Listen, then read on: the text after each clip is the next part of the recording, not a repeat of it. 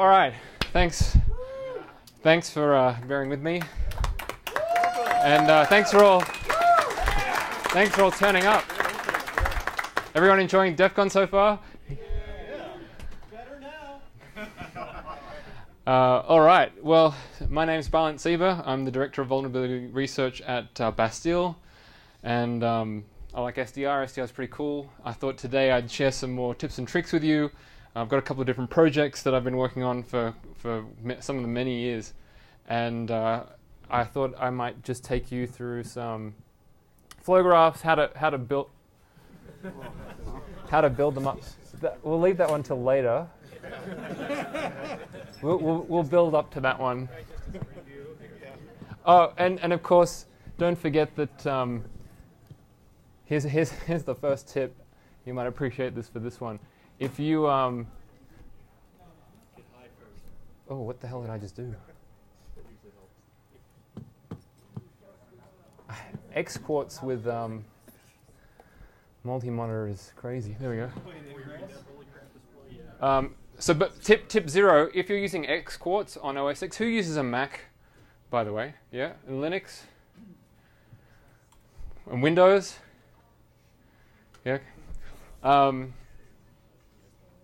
if you're on OS X, OS X is really good. You can use Homebrew and MacPorts to set up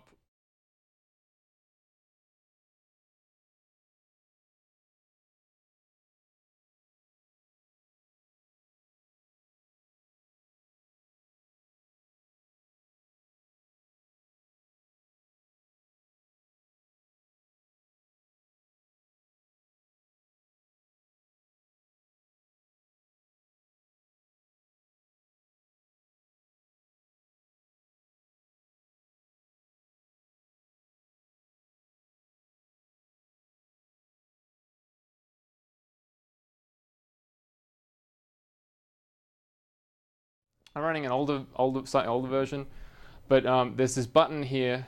I think it's Control B, right? Control B,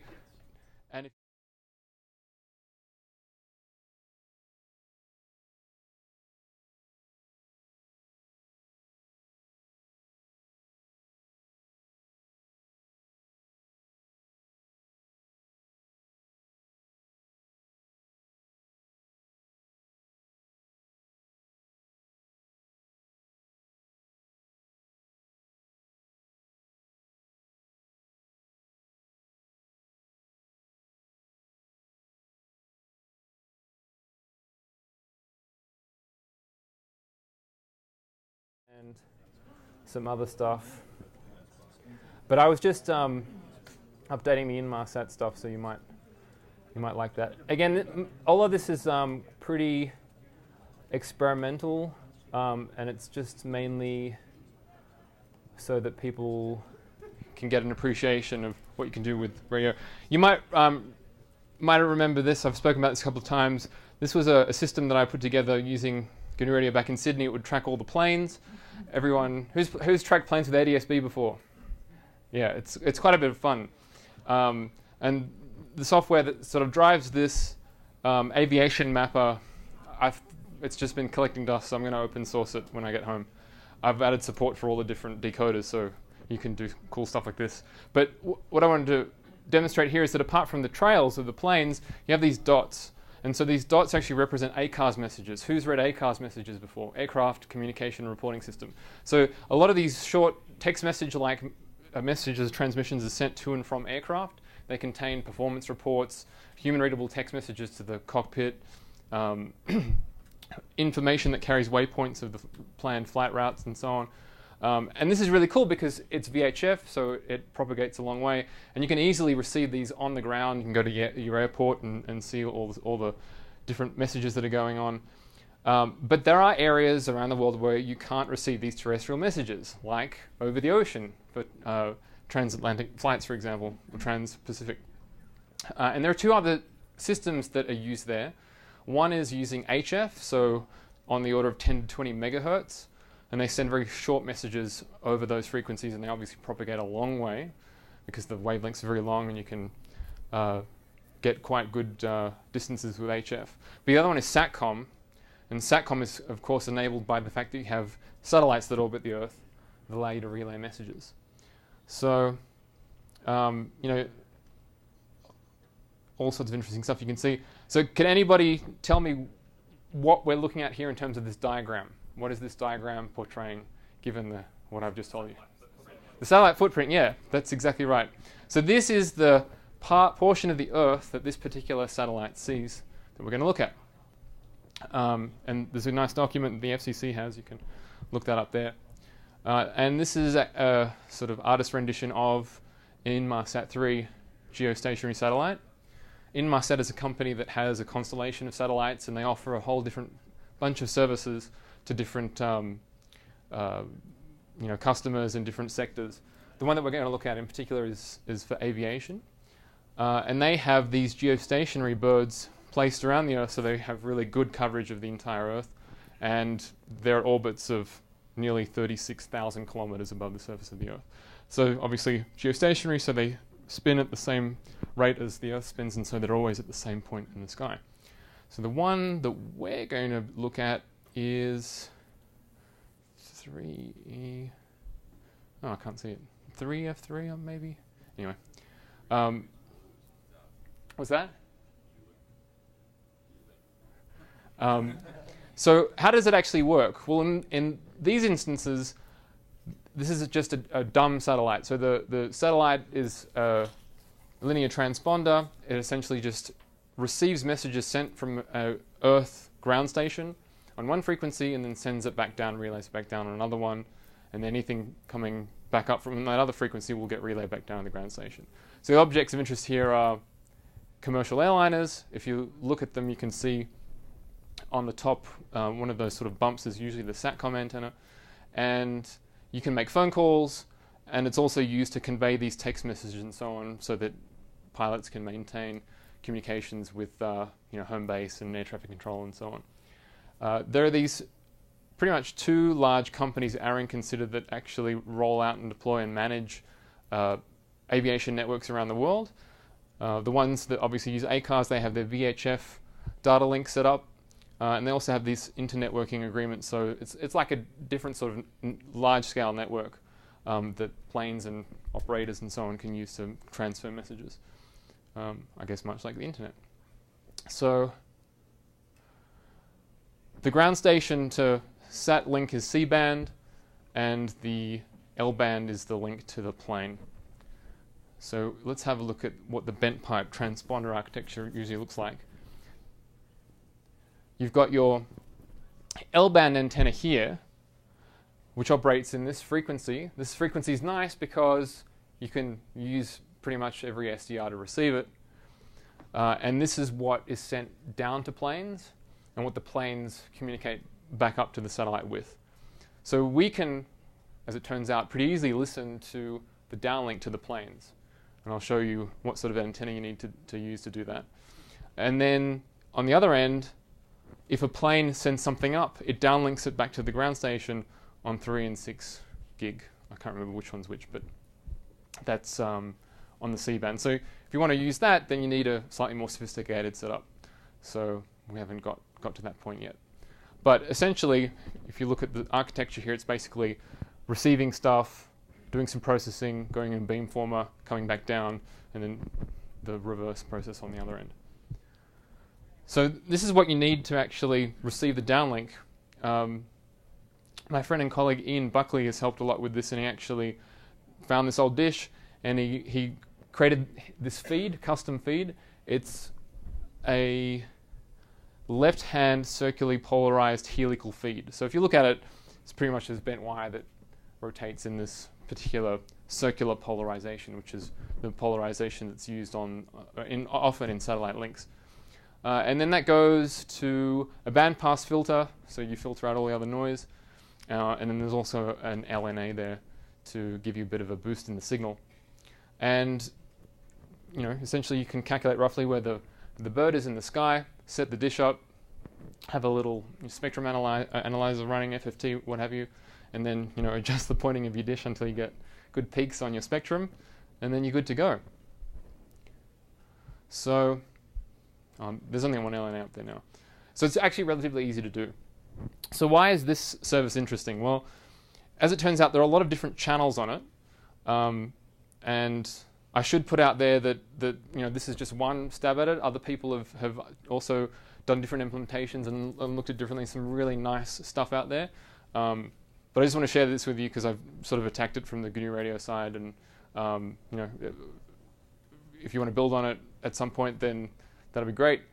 But everything begins with the P channel, and that's where the coordination and timing is set for the system.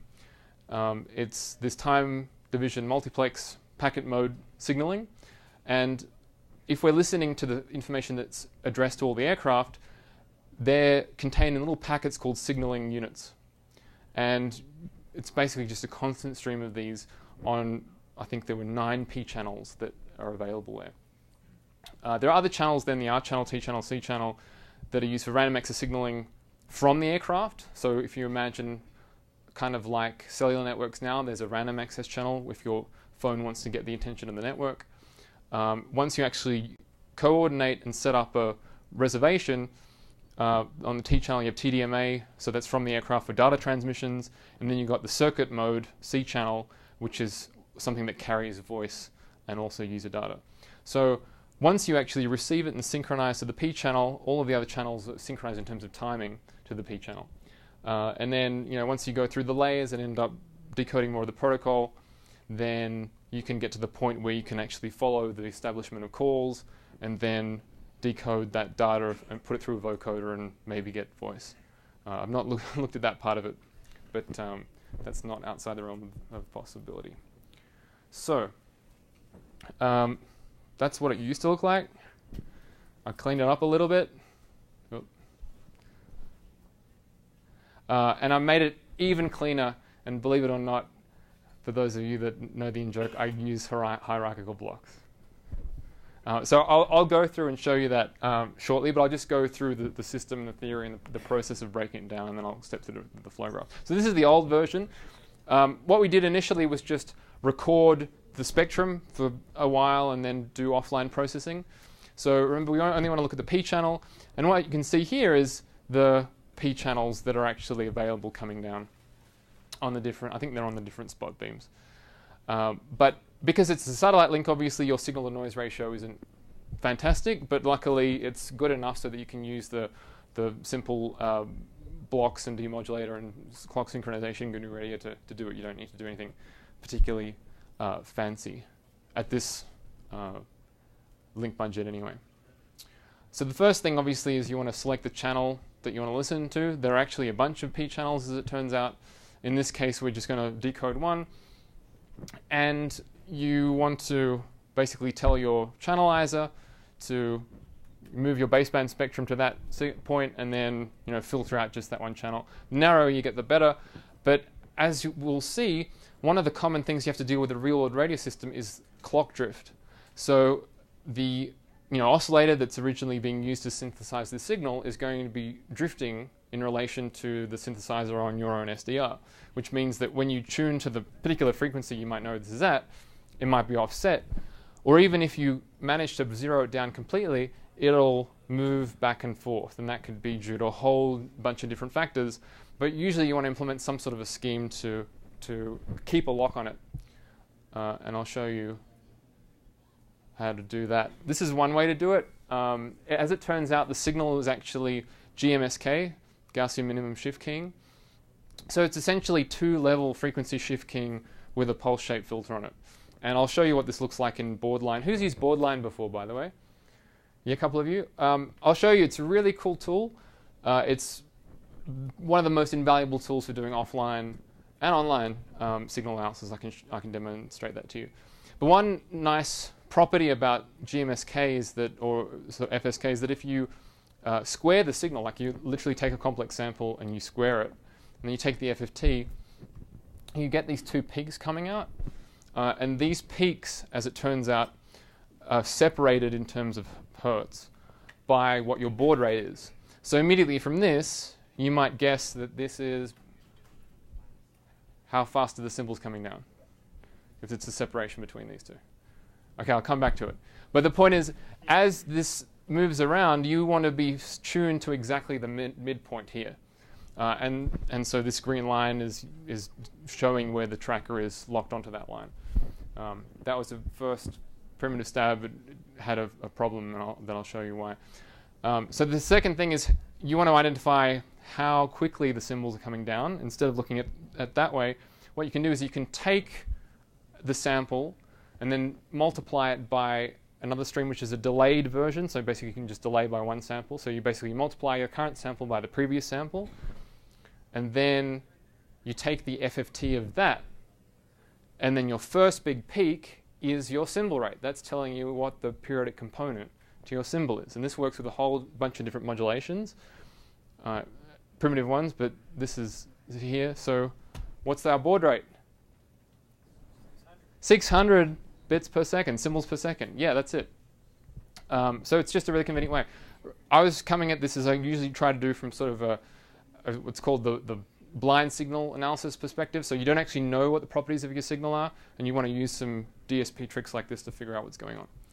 So the next step then is you've got your raw symbols, and I've oversampled here, but you want to turn those, those samples into discrete symbols that you can then turn into a bit. So one neat visualization you can do is with samples, instead of drawing lines, you can draw them as dots. And so this is where I haven't classified them as bits yet. We're purely just looking at the samples coming in on our channel. And you can see that they're sort of scattered all throughout between 1 and negative 1. So that means, you know, we've got them in the right range. We're essentially doing FM demodulation on this and then adjusting the deviation appropriately or, the gain on that so it falls between this, these normalized values. But we want to turn them into a symbol stream and a really easy way to do that is just to slice around the middle. But to slice around the middle, we want to have uh, clock recovery going on so that we have a block that will lock on and say, oh, I'm going to sample here, then I'm going to go forward a couple of samples, sample here, and sample, and keep sampling like that. And make sure that we get really good separation between our symbol streams so that we can turn them into bits. So I think I may have oversampled by four here or something. So there are four times as many dots here. So you're seeing the intermediary dots between each symbol. And here it's tracking it and just picking out the one symbol that represents a bit. And you can see that it's actually doing that really well because there's this big gap between the bottom line and the top line. So then we can just simply say, right, draw a line through the middle across zero. Anything above that's going to be a one, anything below that's going to be a zero. And then that's you know a really basic way of doing it. There are far more sophisticated ways of doing it if you know things about your modulation or you've got a really low signal and so on, but this is just the, the simple approach. Um, and then the next step is you want to actually visualize your bits to see if there's some sort of structure to them, if there's some sort of a pattern. And then you can use that to further deconstruct your and deframe your packets. So there's a cool raster plot. I'll show you how to do that.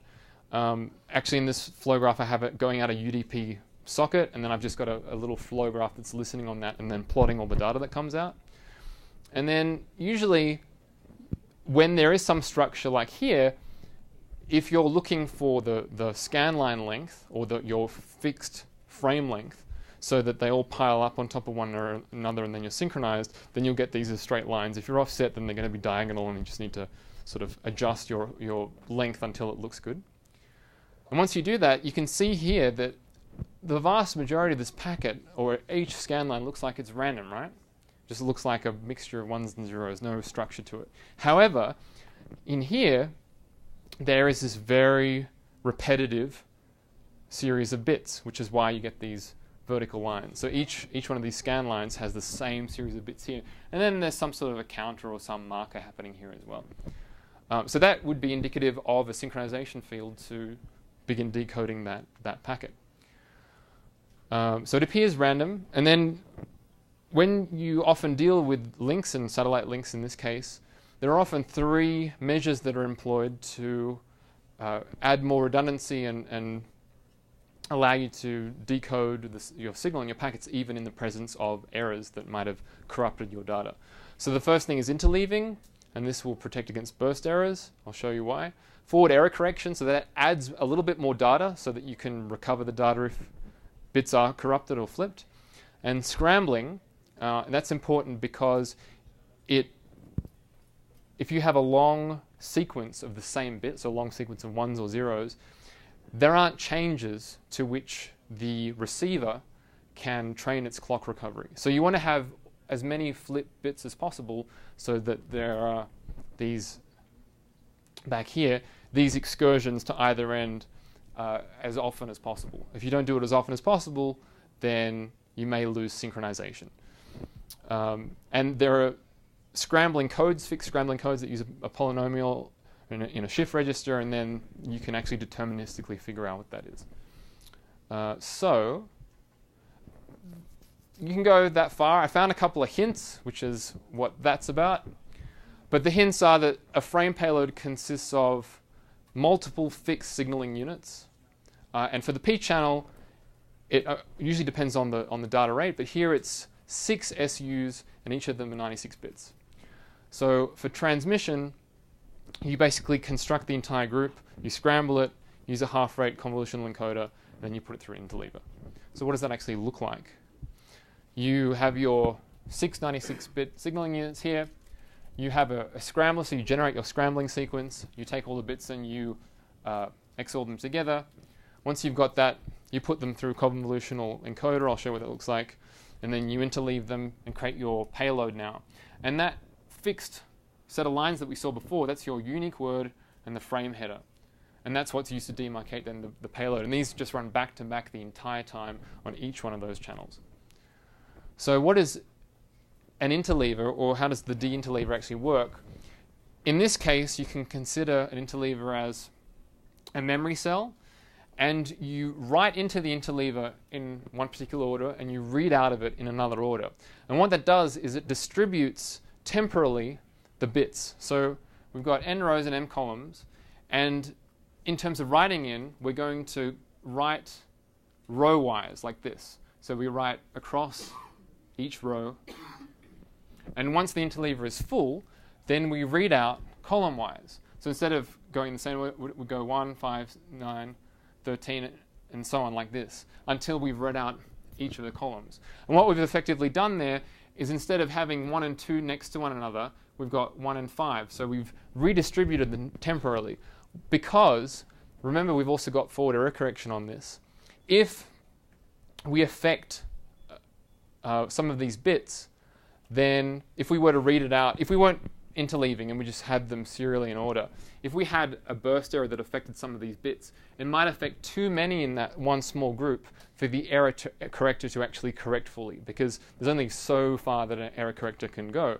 Uh, given the amount of a- additional bits that you're putting in there. However, if you put them, if you distribute these bits temporally, so you, they're not in sequence anymore, but they're temporally distributed like that, then if we end up affecting these three bits 159, then we can still rely on the error correcting data that might be in this smaller group around one to fix one, and then also fix five, and then also fix nine.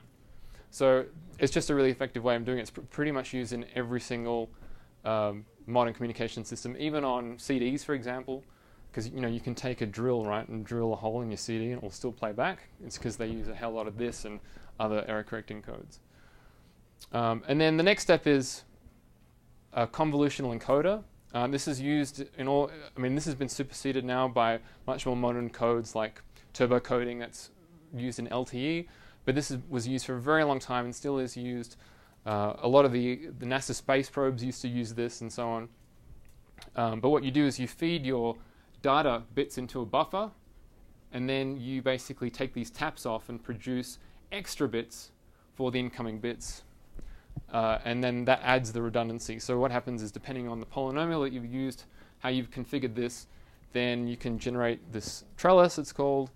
Uh, I won't go into details because it's a bit outside the scope here, but you can use a decoder then, and as you fill in your received symbols, the decoder will try and find the most likely path to traverse through the trellis that matched the symbols that you actually received. So although you might receive some symbols in error that won't exactly match what's in these uh, elements here, it will still find the most likely path because there are going to be paths that are more likely than others, and then it'll use that as the data that you actually received. And in that way, you can then correct or recover the bits that might have been corrupted. Uh, it's a really, really neat system. Uh, one problem with this approach is that if you implement it on a PC, because processors, although there is parallelism, um, you know, you've only got a certain number of cores, this actually is highly parallelizable. So on FPGAs, you can pretty much do the entire thing in one step because you can have like 256 or ridiculously more uh, branches and compute it really quickly. But on a on a serial machine, you actually have to traverse all them all, um, and so that can be quite computationally expensive for very large, um, very large values of k, which defines how long your your constraint length, how long the trellis is. Um, but what's nice is GNU Radio has blocks to do all this kind of stuff already. And uh, in gr-fec, which is a submodule in the, in the main tree, there's this um, nice extended decoder object. And then you can configure that with this definition. And as it turns out, they actually use the original configuration that was on the Voyager space probe. So that's a convolutional code of K7 and these two polynomials, and you put that in there, and magically things start working. The next step is that um, they use scrambling. So you can set up your own scrambler, an additive scrambler. There's a different sort of scrambler called a multiplicative scrambler. But here we use additive, and we implement that as a linear feedback shift register. Uh, the one that's already in GNU Radio didn't quite do what I wanted to, to do. It wasn't, it had to read out the bits before or after the opposite one. Um, so I just modified that into this new one and then you can use this mask and the seed to initialize it. And every time you reach a frame boundary, it just spits out your scrambling sequence and it descrambles it. So when you actually do that, remember that really noisy plot that we had before? Now it looks like it has far more structure and it's repeating. Can you see that? It's not that random mess anymore. So that's really good. That means that we're on the right track. The last thing in a communication system is often adding a checksum on the end of your frame. So once you've decoded it, you can verify that the data that you've received and decoded is actually correct and free of errors.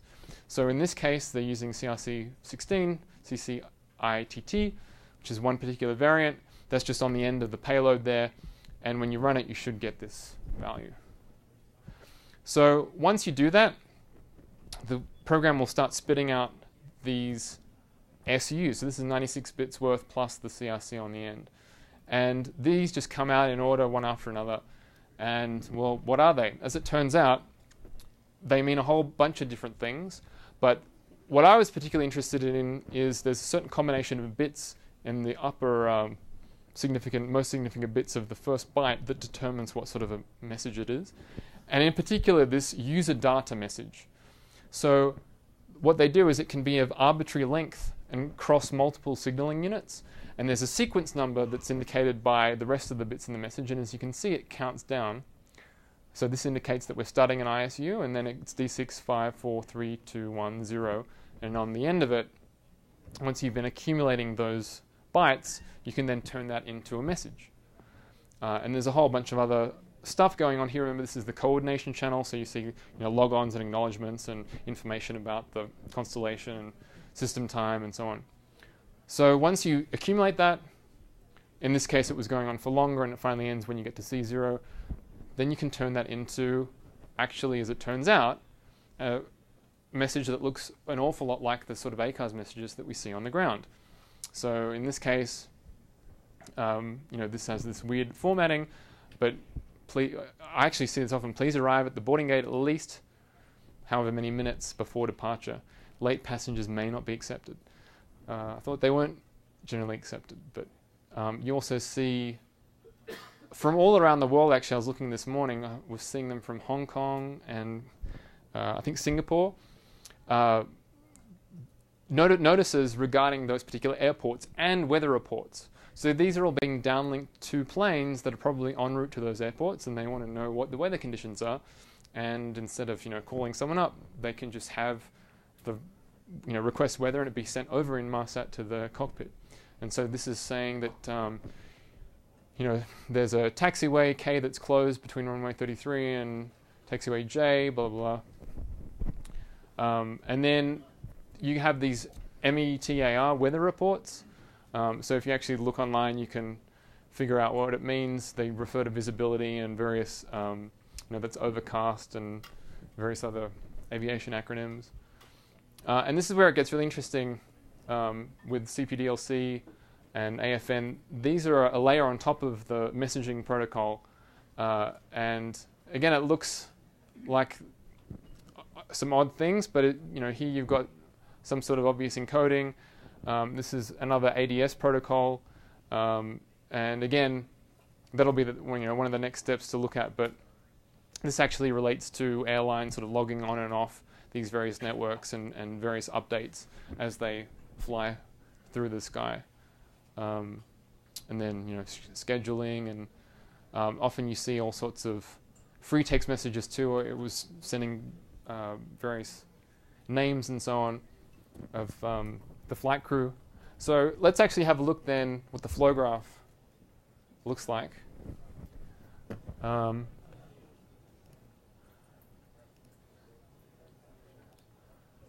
so not that one. Let's start with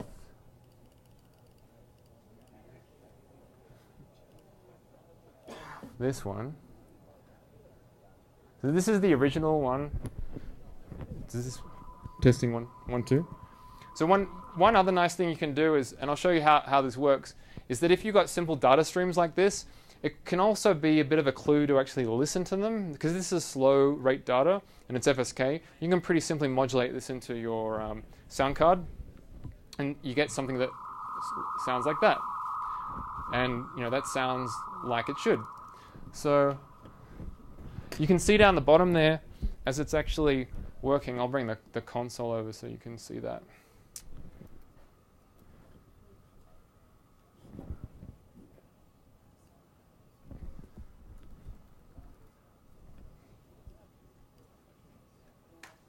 Um, so it's just getting this on one particular channel and it's constantly decoding that. When it gets a, a message, it'll it'll print that out. Um, but usually, you know, it's it's this sort of fixed frames that are happening all the time, and then every so often you see the interesting text messages. So if you look at the flow graph itself, then is it going to fit more or less? So here we've got uh, these various channels, and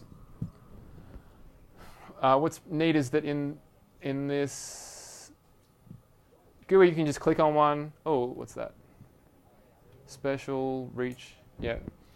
Um, you can just click on. Come on. You can click on one of these, and then, you know, see what the baseband looks like. Do that power stuff that I was talking about with the squaring and looking for the peaks. Um, you know, looking for the baud rate and so on. So I'll I'll show you this in, in the newer version.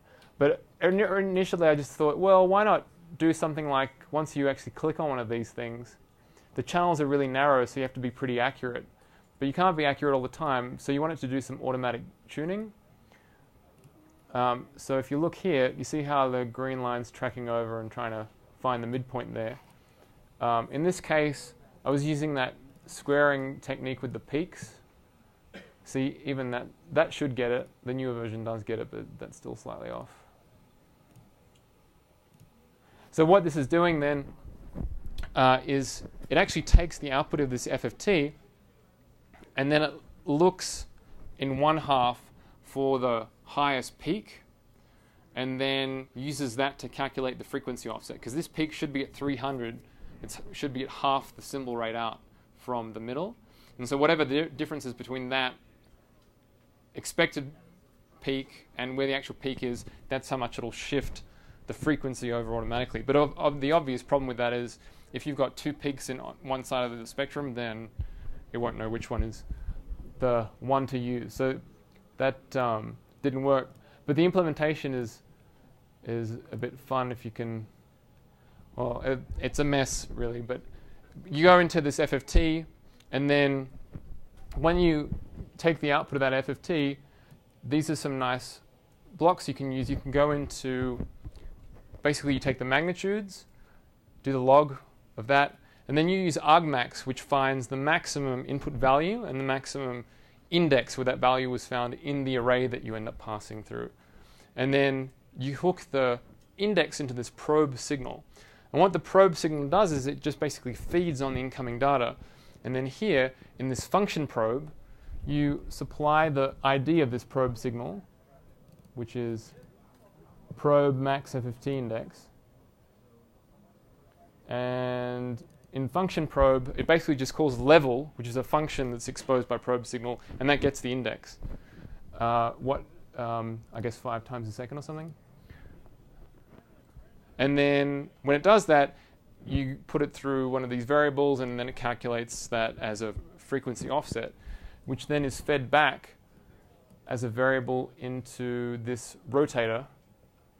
So it takes the fine offset divided by the baseband sample rate and then multiplies it by pi, and so it, it shifts the your baseband around um, so it lines it up. But that wasn't so good because of those obvious issues I pointed out. So let's take a look at how you can build up a decoder.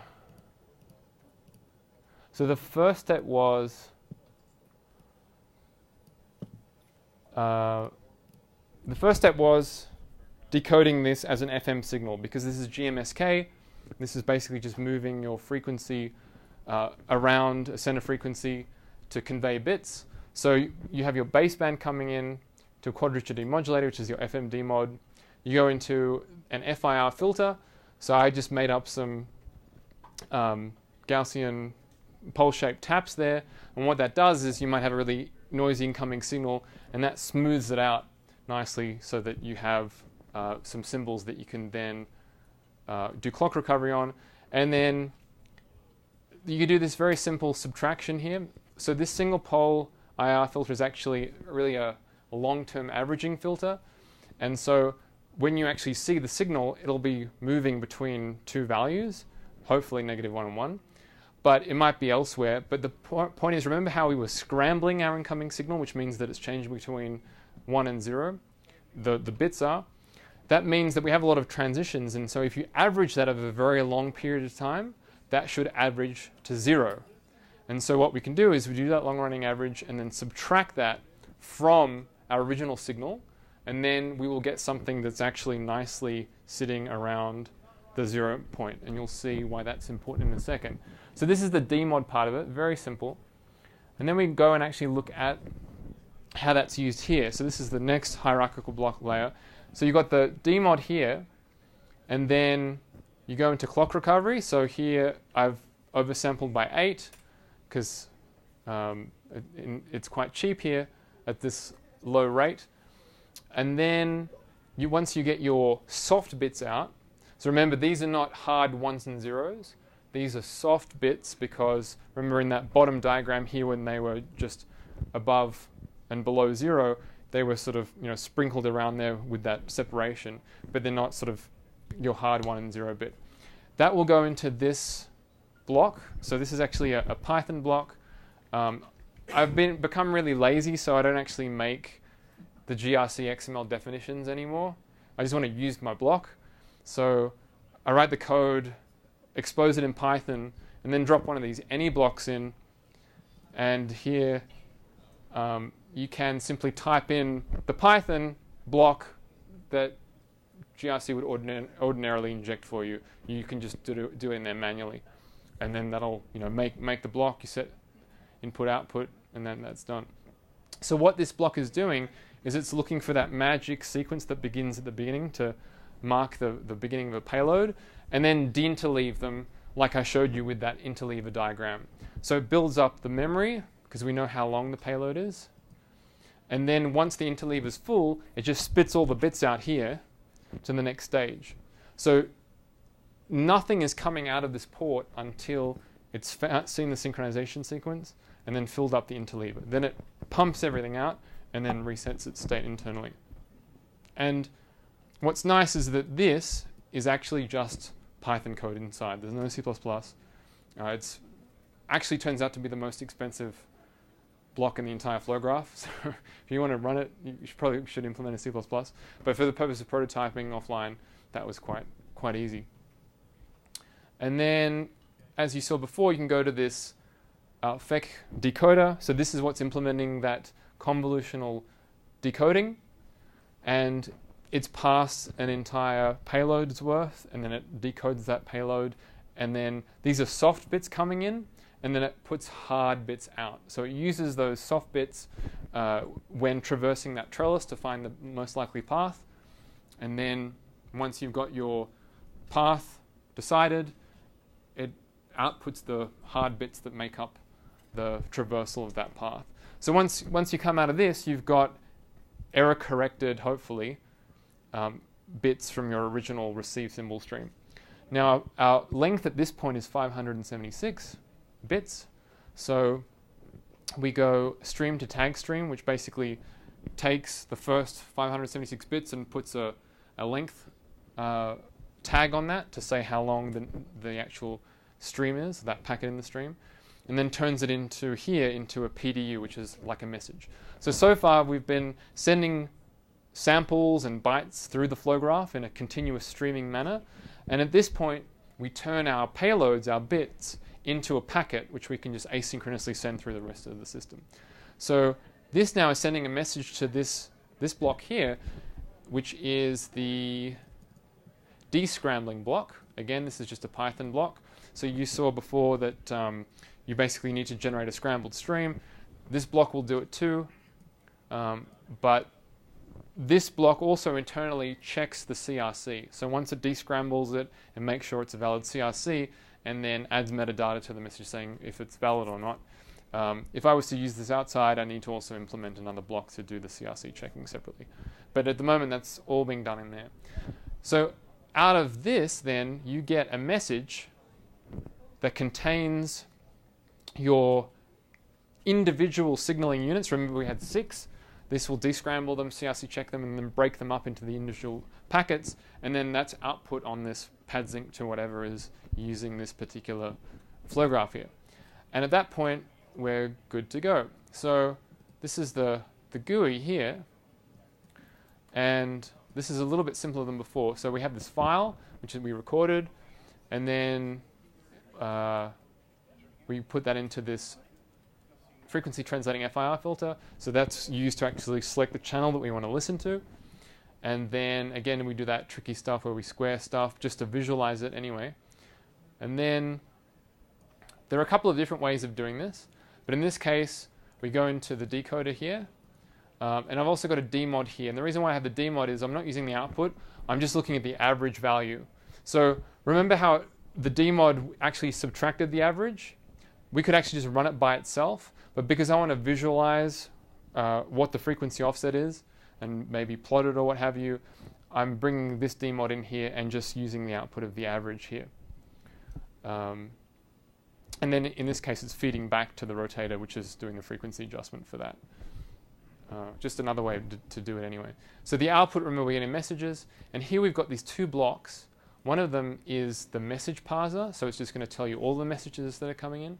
And the other one is this user message parser, which will specifically look for those user messages and then accumulate the, the data and then print out the payloads. And then in addition, I go PDU back to a stream, unpack those bytes to bits, and then send it out on a UDP sink because then there's another little flow graph that you can run that will do the raster plot for you so we can see what, what uh, the structure of the data actually looks like. And then in this corner is the audio output. So basically you're taking in your, your bits here, you're resampling them to an audio rate, doing some filtering, um, using a VCO to generate the, the one of two tones, um, you know, moving those tones and the separation between them, and then going out to your your audio sink. So it's that's just a nice little little visualize. Uh, son audio. What's the, what's the term to convert it? Sonification, sonifying. Uh, so have a look at this. So this is the um, that recording again, and we've clicked on that particular frequency. It's printing out the information there. Here um, you'll notice that this is where I clicked on it in the previous one. So you'll notice that this is 0, DC, but I clicked on it so it's slightly offset. And here the green line is showing you where the center of this particular signal is. And then we can use that rotator to rotate that back so it's exactly at DC again uh, and good for slicing. So how does that work? Well, we're not using this technique anymore. Why is that so slow?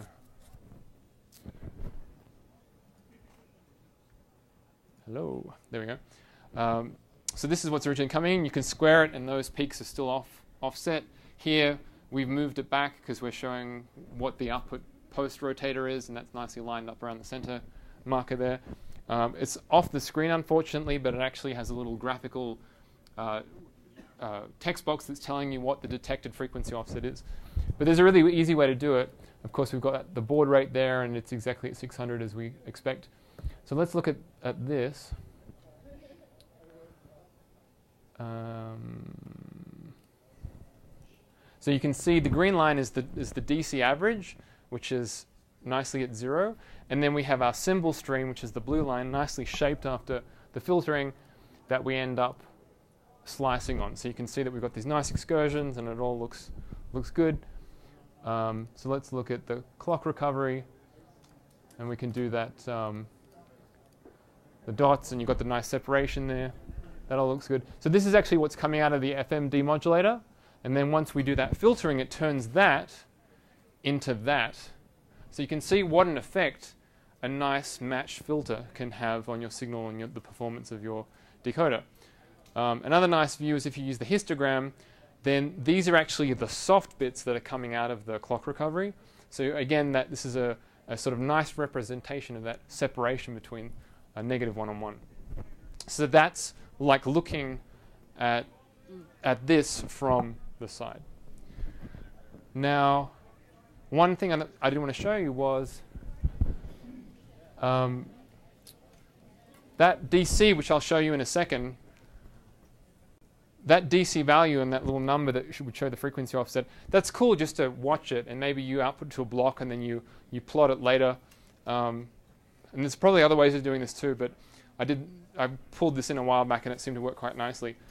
Um, I have a Python module called real-time graph, and I'm, it's been quite handy because it just gives you a really simple Pythonic interface to draw stuff in Matplotlib. Um, and in this case, you can just import it, and I have this, this variable here, which is just an empty list, which are the points that we're going to plot. And then we have this any code one, and any code is a block where you can inject arbitrary Python into the Python that this generates. So in this case, I just go real-time graph, and the title is fine-tuning, and I want to show it, and that's it. I just call, call this, this block graph.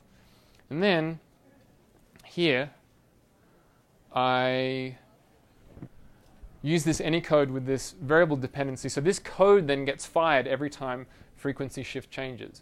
And every time frequency shift changes is when that probe is running on the average, that average value that's used to compute the, the DC uh, offset.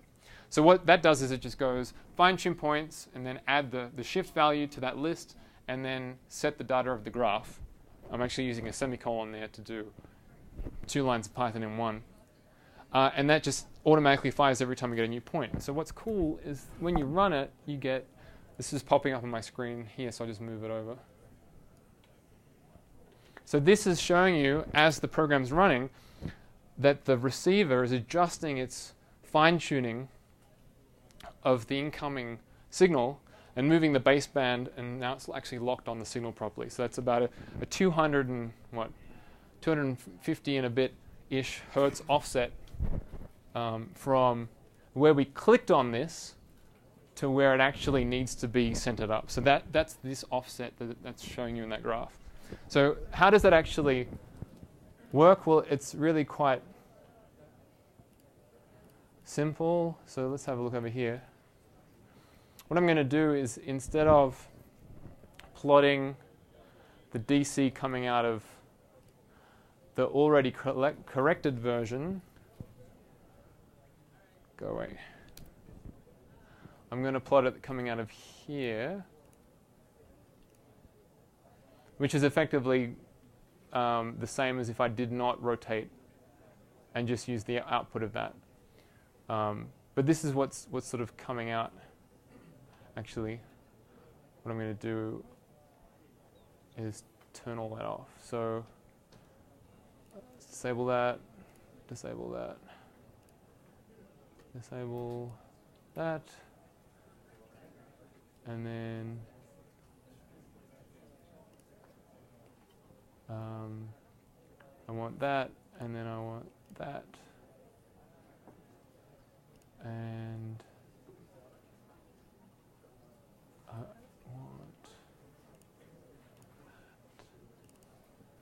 that. Okay, so what we're going to do is we're going to turn this rotator off effectively by multiplying frequency shift by zero. So we never rotate the incoming spectrum. This is just doing the averaging internally, but we get to see what the output looks like. So remember before we had that green line around zero, and we had the blue moving between um, was that the right output? Average and filtered. Let's do dmod.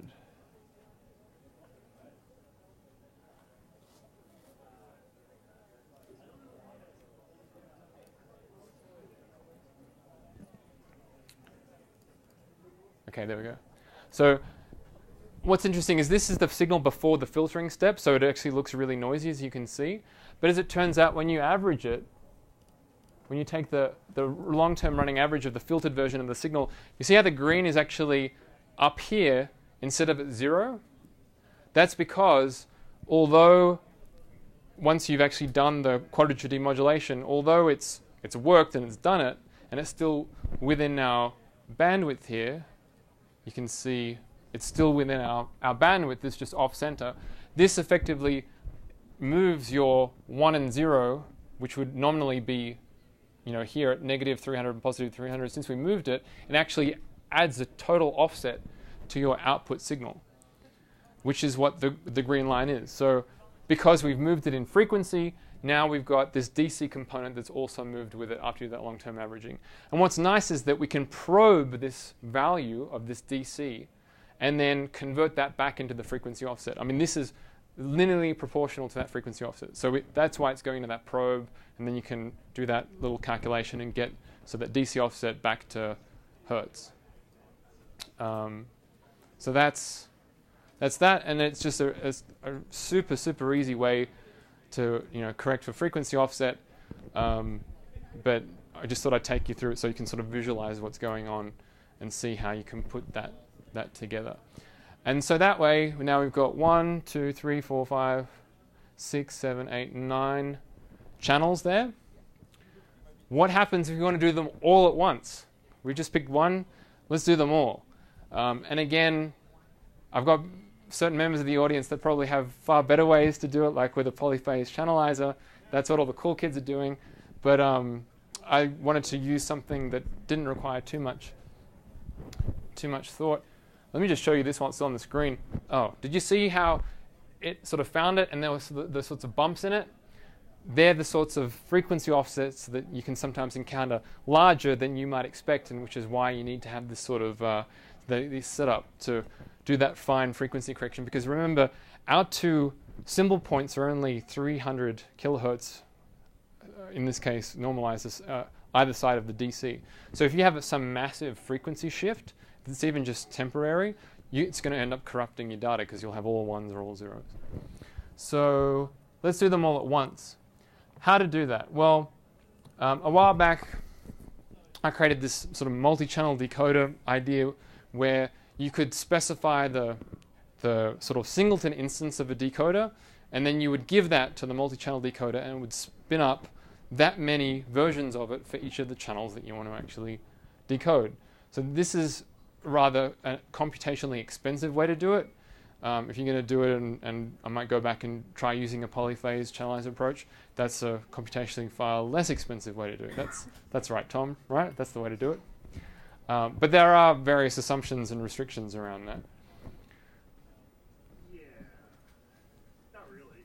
Well, yeah, but I, suppo- I suppose. Yeah, but but actually being able to set programmatically how to combine them. So I mean I, that would be the Python that I'd need to implement. Yeah, you can, you can do it, but it is it, yeah. The, the, math is pretty tough to actually set those up. The building blocks are there. Yeah. Um, yeah. it depends on how many channels you actually want to pull down, whether or not. Yeah. Yeah.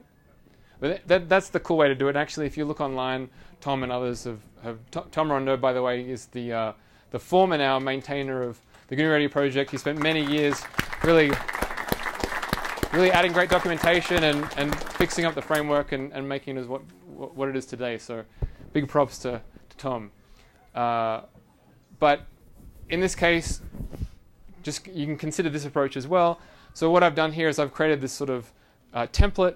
And so we would have our baseband coming in from our receiver. We translate that to the frequency where our channel is.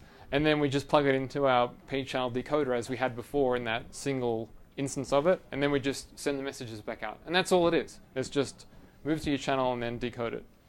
Um, and then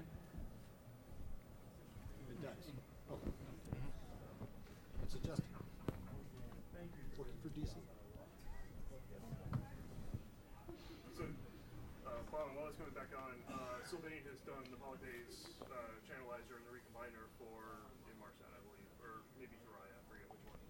Yep.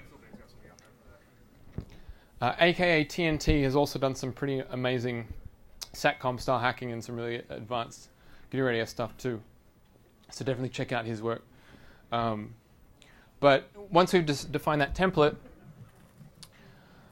um, this is then all you need to decode all of the nine channels there. So I just have a list here that contains the frequency offsets for all of the different, all the nine channels there. And then here, you just connect the USRP source into the multi-channel decoder, and we tell it that we want to use the Inmarsat Aero P-channel decoder. We give it a frequency list, and then we hook the output port into the user message parser. And so what this will do is when you press play, this will spin up nine versions of the decoder, hook them up to each of those channels, and then just let it run. So once we hit play, then we get uh, we get an error naturally. uh, apparently, something's still running. Oh no, that's that's old. Hmm. Give me a second. Uh, what's that? You're trying to run a higher block. No, I wasn't. No, I was here before. No, I'm seeing a trace back. Uh, I was running this in one of these terminal windows.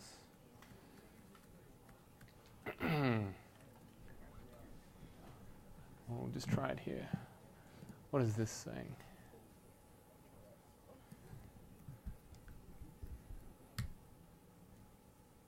Oh, that was kind of obvious. I haven't got a USRP. So actually, here's something I prepared earlier. I've got that same recording. It was off the screen, which is why I didn't have the visual cue. The reason why I have the USRP is because um, uh, this is what I want to show you with the internet, but I, since we don't have it, we might come back to that later if I can set it up, but probably won't, so I don't get hacked. Um, my friend Ian Buckley, who set up the, the dish and everything, he's actually got an Odroid, which is a small embedded um, eight core ARM with four big cores and four small cores, in an enclosure next to that dish, plugged into a USRP, which is hooked up. So that whole thing, little thing sitting there, running all the time, and it's running this, and it's just streaming messages, and I've had it logging to a file, um, and it's just been storing all sorts of stuff there, just to you know see what turns up. But what's kind of nice is that because of the low bit rate and so on, um, it can actually do all the nine channels even with this expensive non-polyphase approach on the uh, embedded platform. So if we run that, there we go. so you can see that it's it's saying that it's you know created all the decoder instances at all the different options. Each of those de- decoders is now finding the unique synchronization word, and um, they're not printing out the generic messages. They're just accumulating uh, user messages, and so you can see. Oh, thanks. Well, uh, we very kindly had a, had a user brought up. Um, that's great too. The only thing we're missing is a dish with a circularly polarized antenna to feed an LNA and a bandpass filter, which is why I wanted to log into the box. Oh yeah, we can make one. you got uh, I don't know what 40 minutes, Turn that chandelier into a dish. There you go. But we still need an LNA and a, and a filter. But thank you very much. Rip one out of your cell phone. Um,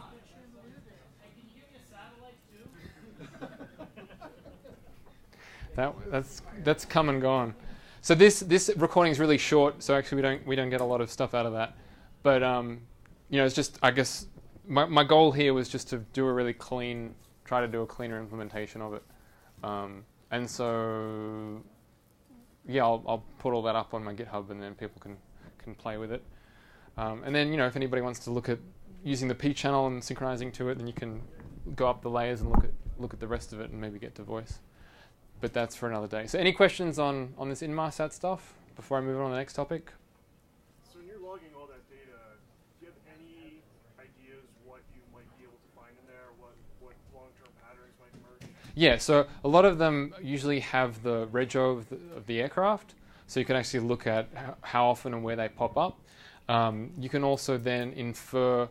I, I've seen messages. Uh, uh, I'll- maybe I can connect to it at the end, or maybe I still have part of the log open in my console.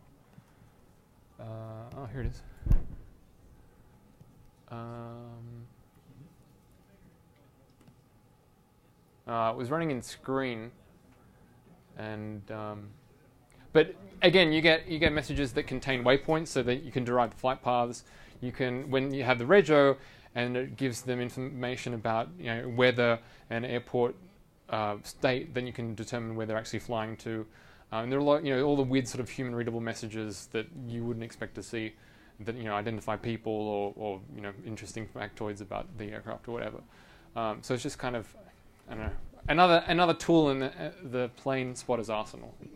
Um, but it's just cool because usually you, you get them from a terrestrial network. In this case, you're getting them from a satellite, which is actually servicing a huge portion of the Earth. So you're hearing you know aircraft, any aircraft in that in that area potentially. Um, so this is super simple compared to some of the other stuff like um, Sec came to Cyberspectrum last night. Oh, there he is up up the back with the cool radio badge. Um, but he, he's done some absolutely incredible work with um, the Iridium constellation. Um, you know, with Schneider and, and, and some other guys. Um, so definitely check out their talk from the most recent Hope conference. Um, really, really stunning stuff, like way beyond this. But I guess I just wanted to show you how you can sort of easily get into SATCOM using this kind of technology. Um, so, what else have I got for you today? Oh, we had the raster sink too. This is just uh, this was that little tool that I was um, telling you that you could use to actually visualize the, the the data, the plots. So here it's just a UDP socket hooked up to the time raster sink. That's all it is. Really basic, but it's a very powerful tool to enable you to look at the bit patterns. So if I run this.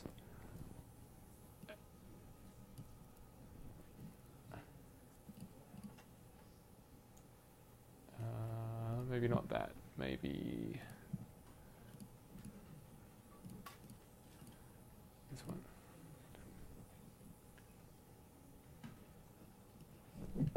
So that's running. Do we have a signal? Yep. And then once we start spitting out data packets, there, you can see that as it's actually decoding an entire payload's worth, um, you get this data coming out. And this is showing you the bits post descrambling. Um, so this is sort of the looking for repeating patterns with the actual raw data. The uh, data on the over the air, um, you know, you could equally just hook up your your UDP sink. Where is it? UDP sink. Where are you? Uh, here. So this is just looking at the output of messages. You could easily just take, uh, you know, this uchar to float and then or just take the floating point output of say the the D mod or or uh, yeah the the D mod, and then we can actually see what that looks like. So this is before any of the decoding has actually happened.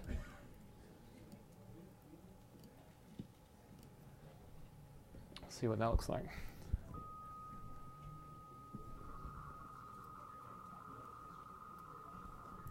Where's my. Did I close it?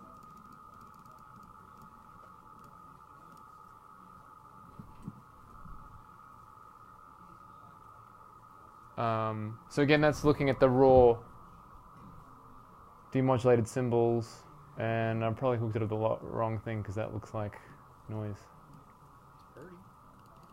It's pretty. it is pretty. Demod filtered. Um, oh, Sims. I meant to hook it up to Sims. I beg your pardon. They're the symbols coming out of the clock recovery. So let's try that like this. Oh, what's wrong? Port is not connected. Which port is not connected?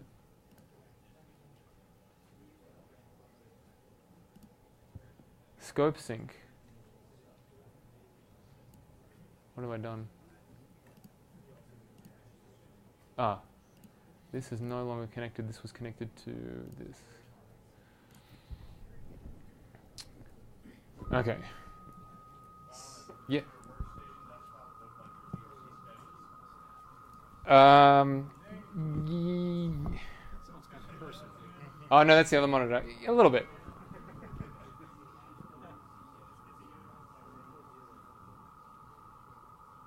So those, that's soft data? The, Yeah, these should be the, the soft bits yeah, soft bits. coming out, which is why they're not just two distinct colors. Um, I might have not set my width correctly. Uh, I thought it was 1200. Maybe that's not. It's not five seven.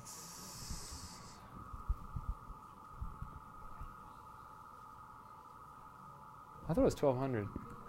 No, no, it was 1152. I can't remember. It's, it's one of those, but in one of them you get exactly that plot that I showed you in the in the presentation before. Um, so again, that that's going there. You can see that it's you know making these subtle adjustments every so often. Uh, so yeah, another another cool little trick you can do to visualize stuff. All right, so that's that's Inmarsat. Um,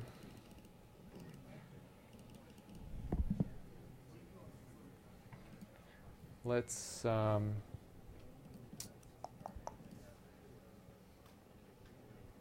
yeah there's some stuff i want to show you remotely but we might might leave that for another time. Uh, okay um, so I'm, I'll, I'll do a, a quick little sort of fun fun tidbit and then um, we'll, we'll look at some analog ntsc video decoding.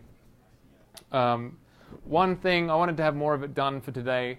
Unfortunately, uh, it actually turned out to be a lot harder than I I thought it would be. Um, but there are some old signals that are still used and um, are really quite quite neat and and um, cool. One of them is um, frequency modulated um, continuous wave radar. Just trying to find where I put it. Um, anyway, I'll show you a quick demo with what you can do with it. So in this case, uh, in a, a lot of radar systems, what happens is, um, and I've spoken about this before, is that you have, like at the airports, you have the large spinning radar, and that sends out a very powerful pulse of energy, and then it waits for echoes to reflect off and come back from, say, the fuselages of aeroplanes flying through the sky, and other objects that will present themselves as a significant radar cross section. They have that huge antenna because it's directional, and thus you get quite a lot of gain, uh, so that you can receive that very weak signal as it, as it bounces back. Uh, in that particular case, they're basically just sending out a very powerful, quick uh, pulse of energy at a single frequency. But then there's another radar system called FMCW where instead of just sending out a one frequency, you can actually linearly or, or otherwise increase the frequency from a low point to a high point and then jump back. So it ends up being a sawtooth, and then you generate what's called a chirp. So this chirp goes from a low frequency to a high frequency and then just keeps repeating. And that actually has some very powerful properties that you can exploit to very effectively create a radar system. Uh, and this is used in all sorts of different environments. Um, but the nice thing is that, firstly, because you're effectively, when you're decoding and demodulating it, that chirp is unique, and so you effectively you're creating a match filter for it. So other noise will then disappear.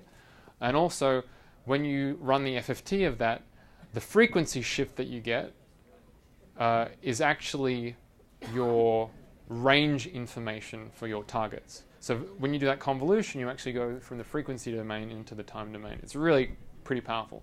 But you can do something like this.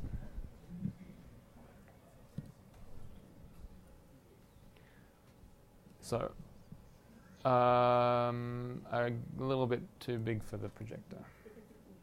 So this is this is running, and we're all about SDR, but you don't even need an SDR to actually play with this. You can see that there's some stuff happening there, and I've muted the speakers on my laptop, but I'm going to unmute them. Can somebody give me a piece of paper? Just like, does anybody have a piece of paper? Maybe I've got one. I'll just use my lap, other laptops, right? Um, so check, check. I've got another two in there. All right, have a look at this. Let's get a good, good setting here. That should be pretty good. Unfortunately, you can't see the, the bottom, but you'll, you'll get the effect.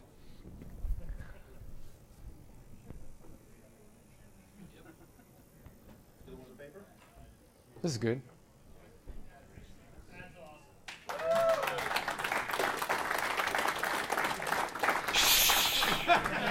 Background noise. Install Gen 2.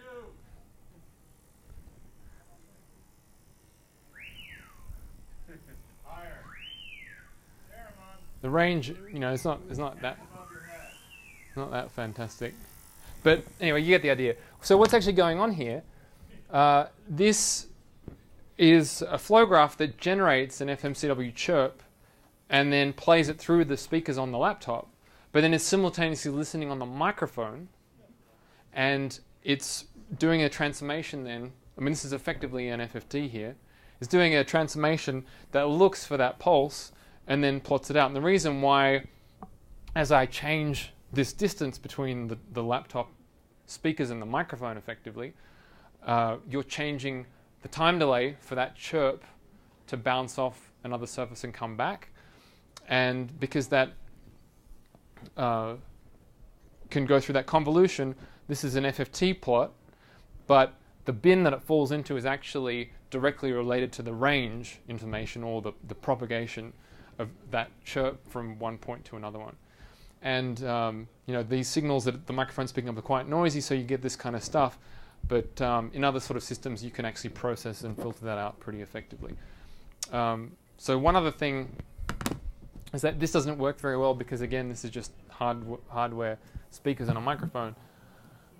But if you listen carefully, there are two speakers in this laptop, right? Which means we can create a phased array and try to get angle information out of the target space above the laptop. So what happens is if you listen, hopefully you'll be able to hear it, but it sounds pretty uniform right now. So what I'm going to do is I'm going to click this button here, and then it's going to phase from the left channel through the right channel. So it's basically going to sweep. And what that's doing is it's changing the delay between the two wavefronts that come out of the laptop. So when you modify them, when they come out at the same time, it'll go directly up. But when you offset one, for one to come out a little bit sooner than the other one, you're basically going to add them together as the wavefronts propagate and then beamform it in one particular direction. And that will then sweep through, so you basically change that that delay there, and so you effectively get a wavefront that propagates basically like like this. Um, and again, it doesn't work very well because you know you got your microphone inside your laptop right next to the speakers. But so have a listen. You might be able to hear what's going on with the stereo effect. Can you hear that? So um, what that's doing is it's processing the FFTs, and then I fix the rate at which it's doing this beamforming, and every time it actually um, runs one transform, that builds up one scan line, and then for each of those beamformed angles, it produces you know each stack scan line. So one of these pictures is supposed to be a full run through the through the um, beamforming range. So I mean the idea is that if you were to you know hold it here, say, uh, you've got to sort of get it right. It's, it's very, very finicky. But the idea is that you would see um, this is from on the uh, horizontal axis here, the x-axis, this is still range information, but your vertical axis is now angle information. So you would expect to see sort of a hot spot at the angle at which your, your target object is actually sitting at.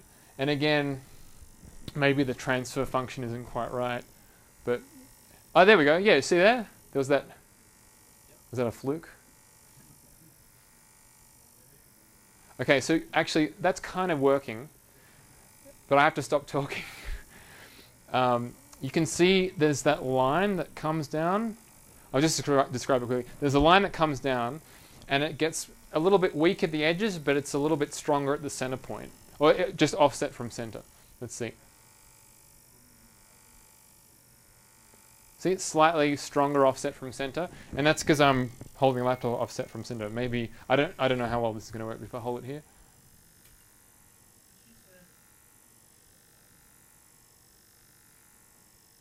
Yeah, a little that one that's quite close on the left hand side. So it was a, around about here, I think. Anyway, you get the idea. Um, but again, that's just you know super simple with this. What's nice is that you can get a USRP like a like a B210 or, or something with two coherent outputs, get some cans, point them somewhere, and then get this to do exactly the same thing, but in the RF domain. And um, you know you can do FMCW and look at Doppler shifts. So you can you can do normal CW and just look at Doppler shifts. But if you use FMCW, then you can do this phasing and also get range information out of it too, quite effectively. Um, and I started doing it very quickly at the end of one Cyberspectrum with some cans, but I think I was getting overruns and stuff. But again, um, maybe for GNU Radio Conference. Um, so how does that actually work? Well, it's um, it's pretty pretty straightforward. Oh, there's no internet connection. Ah. Um, let's see. I know what I can show you. Oh, it's not open. Uh, what's the document called?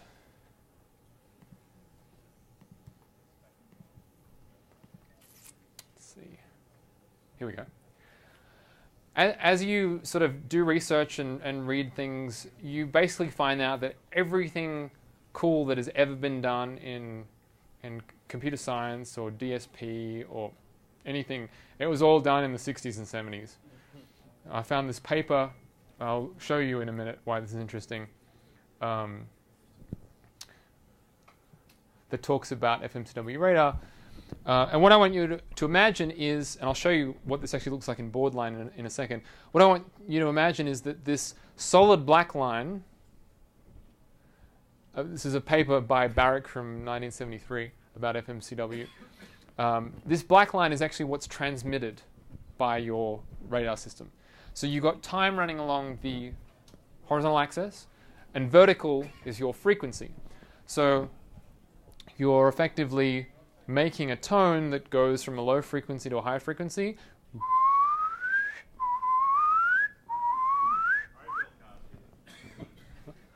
Um, and then this dotted version is actually what you're receiving. And what you can consider is if you're transmitting this waveform and it's bouncing off an object and coming back to you, you will essentially see the same waveform but delayed in time a little bit. And that's really nice because this waveform, because you can create a match filter for it, has really nice correlation properties so that you can ignore noise. Now, what's pretty cool about this chirp waveform is that on the receiver side, you can create the same chirp, basically take the chirp that you transmitted and multiply that by your incoming samples from your USRP. And if you end up receiving this signal or a delayed version of it, you'll effectively undo that chirp nature of it and then get a tone, a single tone, and you can take the FFT of that, and then in the frequency domain you get a bin that lights up, and that's your range information. I'll show you that what that looks like in just a second. Um, but that's the kind of waveform that we're dealing with here, and we can realize that pretty easily. We've got our um, I'm going to start up at the top. So you've got the audio source, which represents the microphone, and then you go through a Hilbert transform and turn it from floating point into the complex domain. And the re- reason why we do that here is because we're going to multiply it by the chirp that we generate um, in this block here. But what we what we do is we have this signal source, which is the sawtooth waveform, which is exactly the waveform that I just showed you here, sawtooth. And we have this particular frequency here. I'm running it at 50. So that noise that you heard before, that was actually a chirp running at 50 hertz. So you hear 50 chirps per second. And then that's generating a sawtooth waveform, which is then going into this VCO, voltage control oscillator. And so this is actually producing the chirp signal. So what you can think about is the sawtooth is controlling the frequency of the waveform that we want to generate, and the VCO is actually generating that waveform at the frequency. So this is constantly doing this sawtooth, and so our frequency is constantly going from low to high, and then low to high, and then low to high. So what we're doing is once we've generated the chirp, we mix that with our incoming signal, and then it goes off down there. Uh, let's see. Da, da, da, so that goes down down here. So we've got our sawtooth, and we're also going into this VCO, and oh, this is the, the phased array component. So I'll come back to that in a second. Um, so what we, we've done is once we've actually multiplied our incoming from so signal from the microphone by this chirp, then we go and we put it into this um, multiply block and I've just done a bit of trickery here. I can't even remember whether this is this is a restriction anymore because when I do it in Python, I don't don't worry about it. But I'm trying to do an FFT. They're restricted to powers of two here, right? You can't do arbitrary sized FFTs. Yeah, you can. Yeah. Really? Wait, yes, in that block. All right. So that I've overcomplicated things, but what's new? Um, eh, so I was trying to make a power of 2 FFT, so what I'm actually doing here is I'm padding out the samples. Turns out that you don't actually need to do that. I mean, you don't need to do that. When you, I've been using NumPy to do some offline stuff, and you don't don't need to do it. So here, I basically have a window. Usually, the window is applied within uh, the FFT block, but here I window the samples that I've received, which are shorter than 1024, and then I'm padding the rest out with zeros. So I'm effectively bringing it up to a power 2. Um, and then the stream mux is combining the samples that I've brought in and windowed with the padding on the end, and then it's going into the FFT. Um, so that's you can you know that works too. And then I'm I'm running the FFT, and then I'm chopping off half of the FFT because we're just interested in the in one side in the magnitude information. So again, I take the magnitude, do the log of it, and then I decimate that stream. So I'm keeping one in every 512 transforms because this sort of modified sink uh, can't accept too much data, otherwise the GUI hangs. It's just a weird OSX thing. Um, and that's how we actually then get that visualization of the range information. So that's essentially all you're doing. You're taking the incoming signal, multiplying it by the chirp that you originally sent out, take the FFT, and then you get range information. And then what about the rest of it? Uh, what about the phasing? So I've got had that checkbox there. So the checkbox is this run array. It's either a one or a zero. Here I've got the signal source, and this is a sine wave, but it's actually set at a frequency of 0.6 hertz. So that's, if you imagine, don't think about it as a sine wave, think about it on the uh, complex, uh, yeah, unit circle. Thanks. Think about it on the complex dimensional u- unit circle, and uh, what you can imagine then is a phasor that's slowly rotating around, and it's doing that rather slowly because I've set it at this really low frequency, and usually, um, usually, since we're not running the array, we just take the output of this VCO, which is our, our chirp. But if we want to phase it, then we can do that too.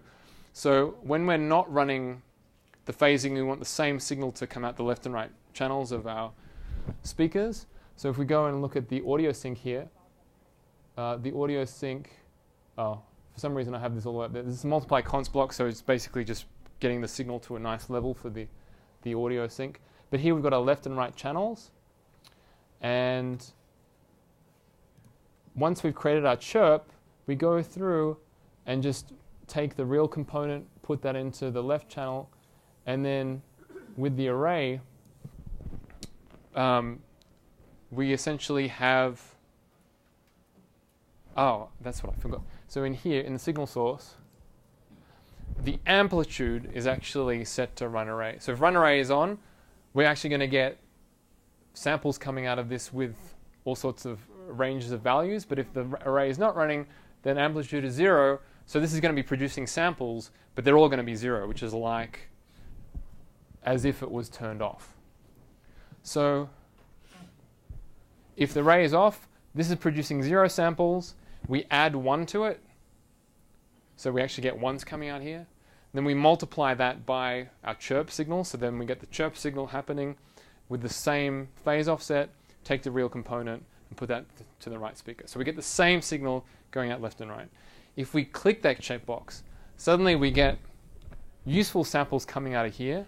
But when we add, we're actually adding one minus array to it. So that actually swapped what's going on now. So now this is going to be producing valid, useful samples, but this is going to be producing zero. So valid samples plus zero is the valid samples. Then you multiply that by the chirp signal.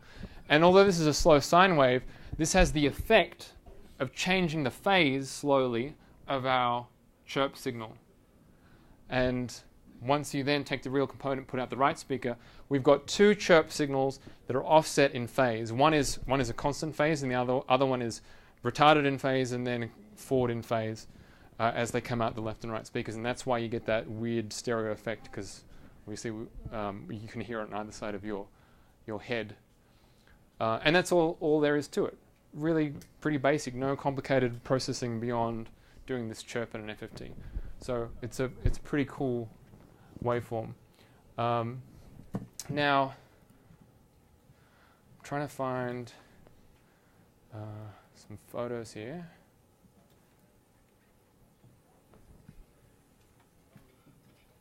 Where did they go?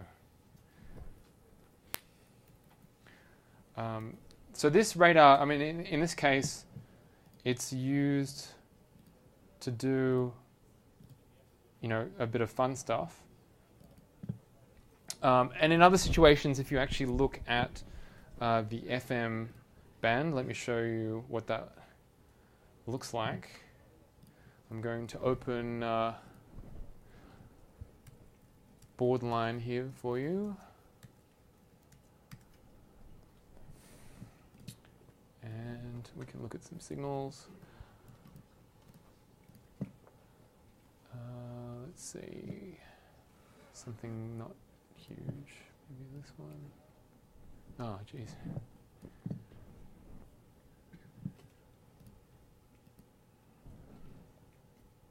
Weird, I brought it over here and it disappears. Ah. Okay. Um, no, that's floating point.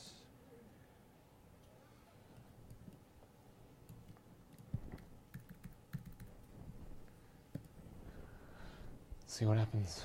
What do we get? Cool. Uh, I'm just going to resize this so I can access the whole window.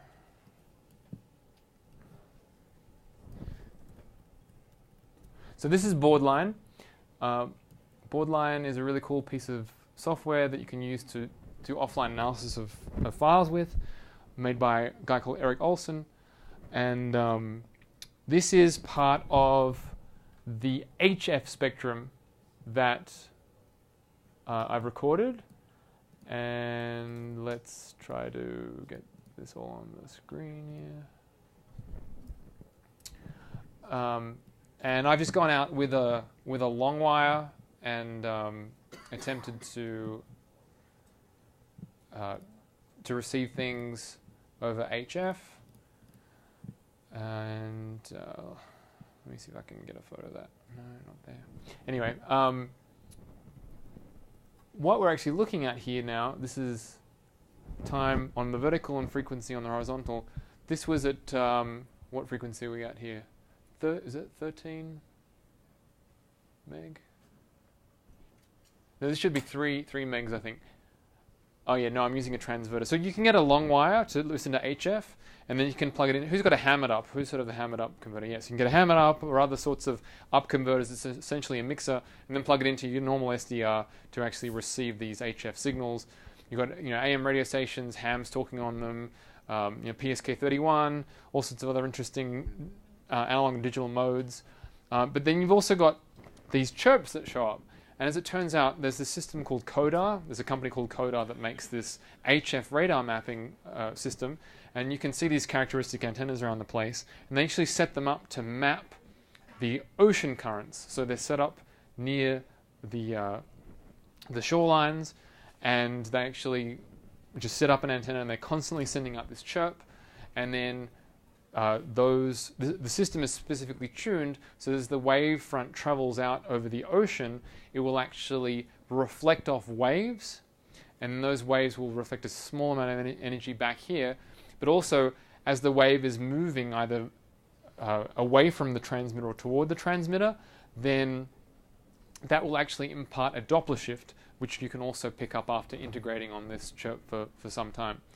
Now, um, you can do all sorts of interesting experiments with this. If you know the guy that um, creates aerospace radios and stuff on his blog, he's done some really cool processing of these sorts of signals.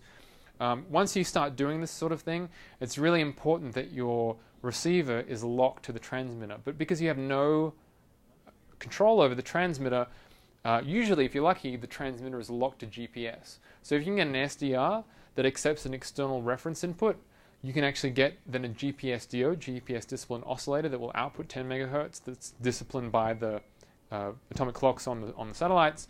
And then that will bring your sampling rate into alignment with the transmitter, which is what you need to then very accurately process the information and then extract Doppler information as well. But this is what the waveform actually looks like. And you can hear these things. Um, kind of running out of time, so I don't know whether we can necessarily listen to them. Um, but what it looks like on the spectrum, as you saw before, was this sawtooth wave. So in this case, this is a, a, a down, uh, up, down chirp, frequencies going down. And you can see here that you've got these lines. And if you actually zoom in there, and we can also zoom in in terms of frequency.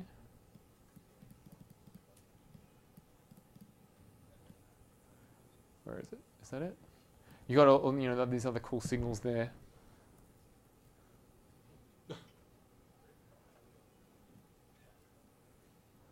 So there's there's our our chirp, and um,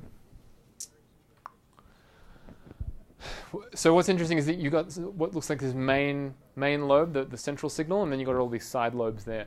And the reason why that turns out um, Peter, who, who does aerospace, actually had this on his blog. Really interesting is that this is actually AMing of the signal due to the fact that the transmitted signal that they're transmitting is actually gated, which means that they're not transmitting continuously. They transmit a little burst, and then they stop the transmitter, switch to receive mode, listen, and then switch back to the transmitter, which is what, you know, for example, the primary surveillance radar does at an airport. And that makes sense because they're using the same antenna to transmit and receive. So that's what's actually producing this AMing effect in the frequency domain. If I won't do it now because it, it can be a bit of a pain, but if you were to uh, actually look at that signal, uh, where are we? Here we go. If you actually to zoom into that signal even more and adjust your windowing function and all that kind of stuff, each one of these chirps actually looks like this. Can you see that it's actually dotted line now? So that's actually the gating of the signal it's turning on and off. And when you do put that in the, in the frequency domain, you get that AMing effect. But that's okay because we're talking about, well, not quite, but almost the speed of light. So if that reception time, if you take that reception time, multiply it by the speed of light, if that distance is within the virtual range distance that you want to monitor, like you know to the wave, the actual ocean waves, uh, then that's all you need to do, and that's fine. Um, but what's interesting is that these signals are out there, and you can actually take these signals and process them and produce these really cool um, plots, which I'll show you. I wanted to have more done, but um, didn't didn't quite get there. Uh, but in terms of the actual setup, what you actually need to do, here are some some photos. So we actually went up. If you're familiar with the, the area in San Francisco, Skyline Boulevard, there's that road that goes up and it's quite close to the ocean. You need to get away from civilization because everybody's switch mode power supplies absolutely destroys the HF spectrum. As it turned out, we had to do this entire operation purely off battery power, no inverters. So I had some DC to DC inverters to power the USRP, and when we turned it on, the spectrum just went to, to junk. We ended up getting these lantern batteries and using those actually ganged in parallel to power the USRP. The laptops just ran as long as they could on the internal battery power. Unfortunately, because they're MacBooks, you can't just pop in another battery. But not that you could exchange the battery while you were recording anyway. But I got about an hour's worth of, of recording on that, which is pretty good. Um, and we've got two setups here. We've got a, a USRP N210 connected. Um, we've got a basic board plugged in there with a band pass filter. Um, so that's just receiving it straight in there. Here, this is a USRP uh, B210 hooked up to a Ham It Up. So we had two antennas there. Um, and we were really cold and the mist was coming in. And we had a long wire antenna and a. Um, so that's kind of the setup there. A long wire antenna as well as a dipole that I I brought. Uh, and you know, so the we've got a we've got an LNA here and, and some other things, but everything's powered off batteries. Like the the Ham It Up is powered off, and I think uh, well that's off USB, but there's also nine volts powering an LNA, and and you know really really basic. So any and then oh we, then we also got a a 110 inverter to power off the car battery to actually try, attempt to charge the laptops with.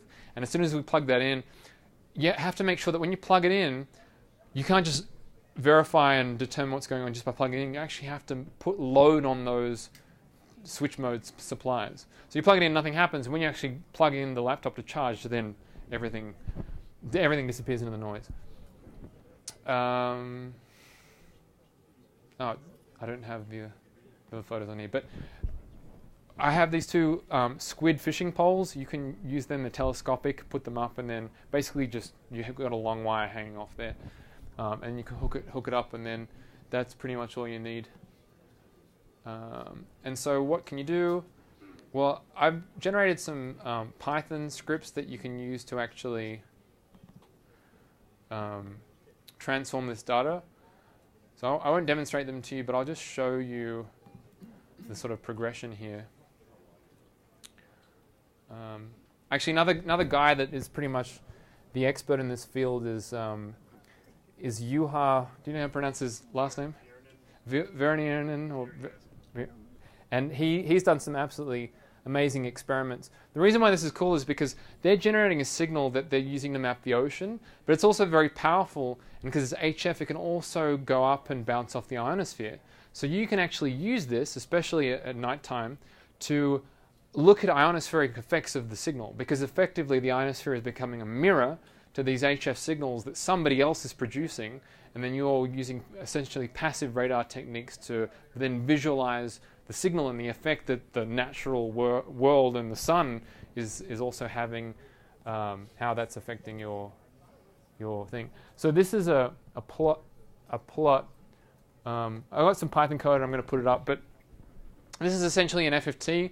I wrote this because I wanted to create really, really big FFTs, um, and you know not have to, you know, use a tool to and muck around with a tool. Just have it spit out a massive image. So this is actually part of that spectrum again, and you can you can, see that there are these various different CODAR signals at different frequencies that you can pick up, uh, and then once you do some clever processing you can basically find the bandwidth, and then you can use um, you know some simple DSP tricks and do autocorrelation on the signal to find the rate at which is actually running the chirp because it's a repeating signal. And then you can create um, a matching chirp and then filter that down. So you, you get a plot like this essentially. Remember how we had the AMing effect and we had those side lobes? Because that you have that frequency that's chirping down, going from high frequency to low frequency. If you match that with your own chirp and you mix it down, you then get a straight line. So that main lobe then just becomes this straight line here, and then we have the other side lobes that come off there. And the the way this is running is this is actually an FFT that's running from left to right.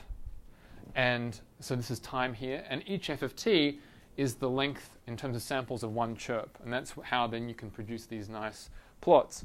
And what we're interested in is what's going on in this band right here, because if you consider the speed of light and the distance that it would traverse over the length of a chirp, we're talking, you know, multiple times around the world and, and then some.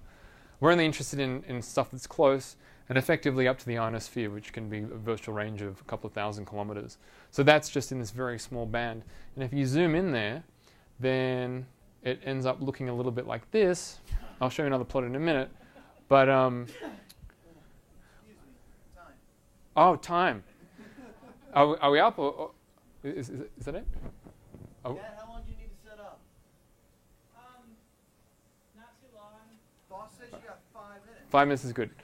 Um, so we are effectively looking now at, you know, whatever propagation and wavefronts are coming back and re- we're receiving them all here. Um, and let me try and find another plot. The cool thing is that you can actually see stuff um, that's actually moving. Maybe not in that one. Let me find another one here. Ah, here it is. Have a look at this. Which is a good one. So again, we've got our our sort of um, they can't see them due to aliasing there, but we've got our sidebands there, AM, and if you actually zoom into one of them, you can see where was it? This thing. So this should be straight. In this case, I wasn't using a GPSDO, um, and I have to go back and reprocess everything and do some fine frequency offset. I think I calculated that at each step, I was losing like 0.02 hertz. So even at that tiny amount of frequency offset, it ends up actually producing this visible offset over time, which is why you need to lock and, and integrate and make sure that you round everything up. But um, you know, you can see stuff moving there in the middle. There's a better plot, and uh, unfortunately, I just can't. Oh, that's the one. So here you get this really interesting fringing effect. And you can kind of see here, there's this discontinuity because I had an overrun, so everything, all the timing got desynchronized. But you can see here that, you know, stuff is actually moving. Because this is a range plot and these intensities are moving in there, there are, there's something out there that's actually changing its virtual range with respect to my receiver and the transmitter. So things are sort of, you know, might be getting close or are moving away, and you get, you know, these sorts of effects there. I'm not, I haven't looked into it enough. I don't, don't actually know what's going on here. I have a feeling this is probably more likely the ionosphere than the ocean, but it might be a combination of both or something else completely. So if, if you know, if anybody has any ideas, please talk to me afterward. But this is a continuing area of research, and, and when we went out, we used GPSDOs. I have to still have to process all that data and optimize my code a little bit because it's like many, many gigs of samples to convert. But anyway, this is just an experiment. Again, a, a little feel for what you can do. Um, and in, in the last minute, I didn't get time to show you, um, but you can also do analog video decoding Um, so FPV on drones ends up actually using NTSC over FM. That, that's the one that I've seen anyway. And so when you you can create a flow graph, I was mucking around with this a little bit. Still very experimental. Um, let's see. So my vertical sync needs some improvement there. But I've effectively, this is an NTSC waveform coming in, and I've got two match filters that look for the vertical sync and the horizontal sync, and then it, it tries to line everything up and then give you a picture. I didn't actually see color burst in this one, so I didn't have any color information. Um, so I'm, and I'm just plotting luminance information anyway. Um, but usually, I've found that if th- I just have to tweak the timing on some stuff. Um, but I, you know, there's some weird blocks that I had to add, like certain things to look for peak detection and whoa. But you know, it's it's kind of getting there. If you if you take out all the special synchronization stuff, you get a solid image, but then you get roll in vo- both vertical and horizontal because um, the timing's not quite right. But anyway, that's ongoing work too. So if you got FPV, I think someone was going to bring an FPV thing, but anyway, um, it's an old school signal. So I'll, I'll wrap it up there. Thank you very much for your attention, especially for that amount of time.